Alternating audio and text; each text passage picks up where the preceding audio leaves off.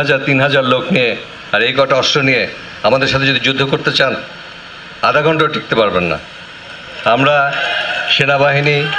police, answer, BGB মিলে আমরা যারা আছি, তাদের সাথে আপনারা তিরিশ মিনিট যুদ্ধ